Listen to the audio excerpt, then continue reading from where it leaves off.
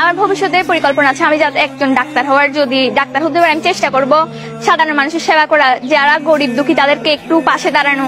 যে টাকার কষ্ট কারণে অনেকজনের চিকিৎসা করতে পারেন, এই কষ্টটা আমি বুঝি। কেননা আমি আমি যখন ছোট ছিলাম, আমার বাবাকে আমি টাকার কষ্টের জন্য বাঁচাতে পারি না আমার মা তো এটা আমি বুঝি যে গরিব কি কষ্ট, টাকা না টাকা